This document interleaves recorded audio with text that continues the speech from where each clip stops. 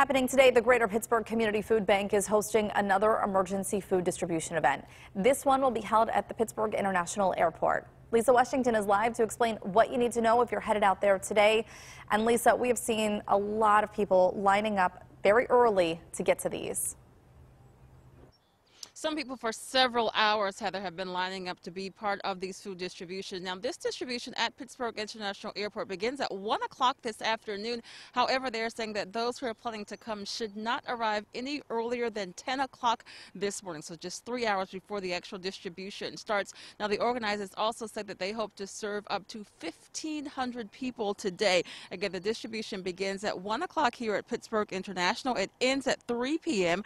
Only those people who are in car cars will be served. One food share, that's about 50 pounds of food, will be placed into each vehicle. When you drive up to the distribution row, you should unlock your trunk. Again, if you are planning to come, keep in mind that you cannot begin lining up until 10 this morning. They say if you come early, you may be asked to leave and then come back later. Also, you should not wait on the side of the highway or anywhere near the airport property. Allegheny County Police are actually going to be patrolling the area to make sure that no one is doing that. And once you do get onto the airport property, they say that you should remain in your vehicle at all times.